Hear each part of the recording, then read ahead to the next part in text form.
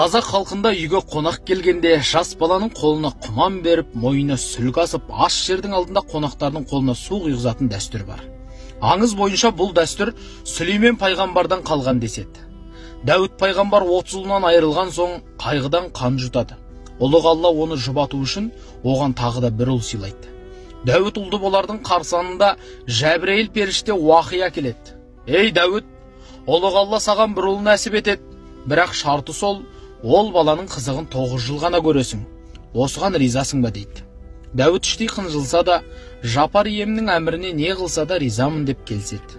Көп ұзамай дәуіт ұлды болып есімін сүлеймен деп қояды. Дәуіт патша болғандықтан оның сарайына күн сайын жүздеген адам қонаққа келеді екен. Сол кезде жеті жасар сүлейменді бір қолына құман бір қолына сүлгі ұстатып сарайдың алдына қызметке қояды. Бала күні бойы кірген шыққан қонақтардың қолына су құйып алғысын алады.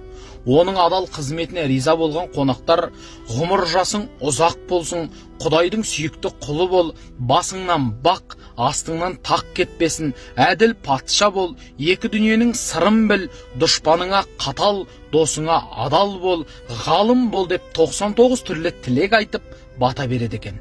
Арада 15 жыл өтеді. Сүлейменнің бұғанасы бекеп қабырғасы қатайып ойы да бойы да өсіп азамат болып ер жетеді. Бір күні дәуіт ұлық аллаға уа алла маған ұлыңның қызығын тоғыз жыл ғана көресің деп едің бұл не хикмет? деп сұрайды. Ұлық алла рас айтасың сүлейменнің пешенесіне тоғыз жылдық ғұмыр жаздым бірақ зерек ұлың қонаққа қызмет етуден шаршамады. Ақсақалдардың батасын алуға құмар болды. Күн сайын адамдар оған менің 99 есімімді айтып шын жүректен алғыс жаудырып батасын береді.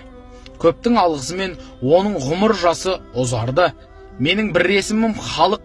Халықтың тілегін қабыл етпеу ұлықтығыма сын болар. Бүгіннен бастап сүлейменге 99 түрлі мұғжиза берем. Жердегі бүкіл тау тас аң құс 18 мың ғаламға патша қыламын деді.